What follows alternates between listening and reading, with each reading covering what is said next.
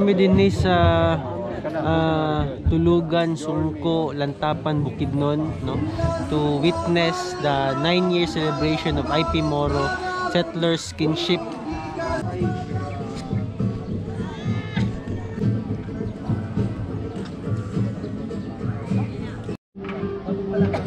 Dini makita na to ang symbolic nga monument no ang symbol ni sa kinship between indigenous people peoples and Moro in Mindanao no, who existed in First Nations inhabiting their respective ancestral territories duly uh, covered by traditional peace pacts and treaties long before the colonial era.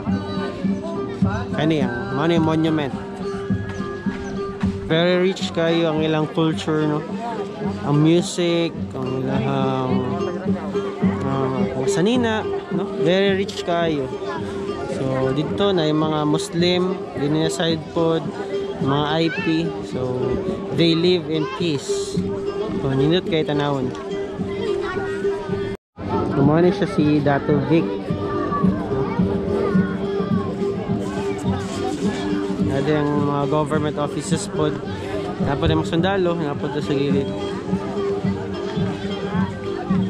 Taon-taon, sugna na ni karon taon-taon. Yearly, ano siya sa Abyss Builders na mo attend, mo join sa celebration, commemoration of IP, kin, IP Moro Kinship diri sa naman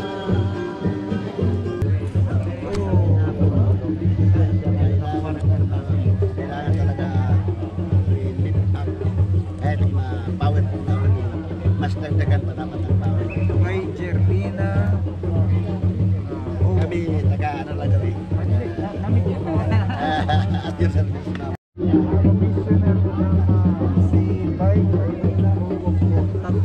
Tagbubot Tagabawa.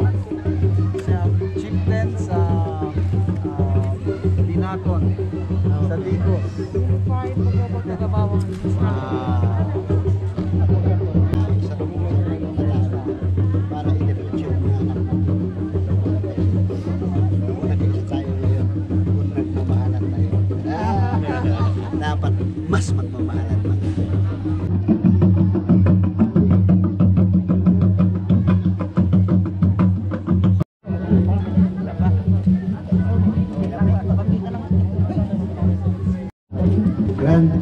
Reunion.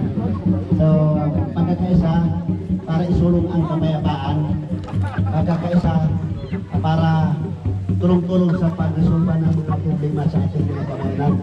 Dahil dito tayo, itong kinship, ibig sabihin, kung may problema ka, hindi ka nag-isa. Kung uh, problema ng moro, nandito ang IP at saka binang kapatid. Part sa ilang ritual, maghatag ta, magbutang ta og ah, sinsilyo dito. Sa. Butang tag sinsilyo diri. According to the guidance of the divine Ayun. Ay mga sinsilyo na po. divine creator. Kaya itong ritual na pinag-kinship is holy.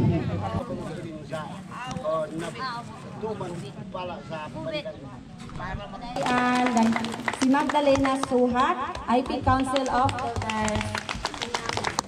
And Attorney Marian Arnado, General uh, General.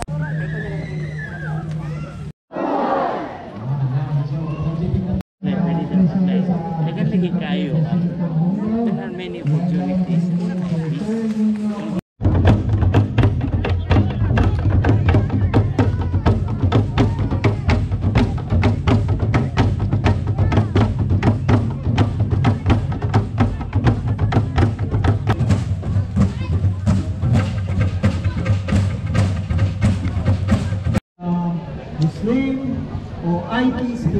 Spirituality at ano pang mga ibang spiritualities as long as connected tayo doon sa ating naglilikha ang tawag namin doon ay spiritual transformation. At napakahalaga po na kahit anong gawin natin, lalong-lalo na sa pagsusulong ng kapayapaan kasama ang ating manlilikha. Dahil may harmony tayo sa ating manlilikha, meron din tayong harmony sa ating sarili. Mas makikilala po natin ang design ng ating buhay dahil kilala natin yung designer. So ito po ang tawag namin ay psychosocial transformation. Dahil kilala natin ang ating sarili, kilala din natin yung ibang tao, the others. At yun po ang ating social political transformation. Kaya pwedeng mag-usap-usap ang IP, at Moro, Moro, pang mga tribo, meron tayong intertribal, intra-tribal, ah, intergovernmental, intragovernmental na pag-uusap at may kapayapaan at may katarungan. And finally, ito po yung harmony din natin with nature, with God's creation. Kaya yun atin pong ah, tubig, ang lake, mga forest, mga bundok, pare-parehong ibinigay yan sa atin ng Creator at sama-sama po tayong itataguyod na ito ay maingatan at may preserve at hindi lamang po sustainable kundi regenerative. Harmony with the Creator, harmony with myself, harmony with others, harmony with God's creation. Ito po ang ating kapayapaan. God bless you all. Muni ang panang pulot. Pataog, ah, part sa manok. Kumusta Holpi? Holpi, no? Yeah, si Holpi. Ano si Roger kasama mo? Right. Yes. Ito, kita.